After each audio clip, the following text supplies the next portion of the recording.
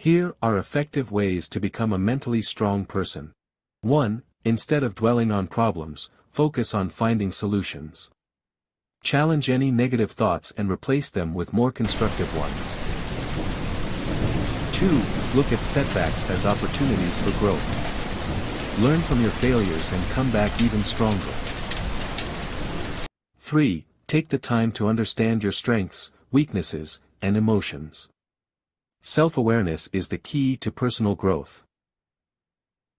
4. Set clear and achievable goals for yourself, and create a plan to reach them.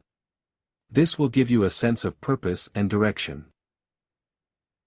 5. Embrace lifelong learning to expand your knowledge and skills. Being adaptable is crucial for developing mental strength.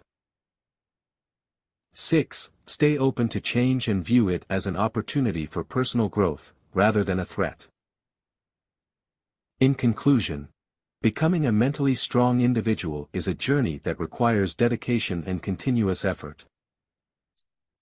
By applying these effective strategies, you can build resilience and fortitude in the face of life's challenges. By integrating these principles into your life, you can cultivate mental strength and lead a more empowered and fulfilling life.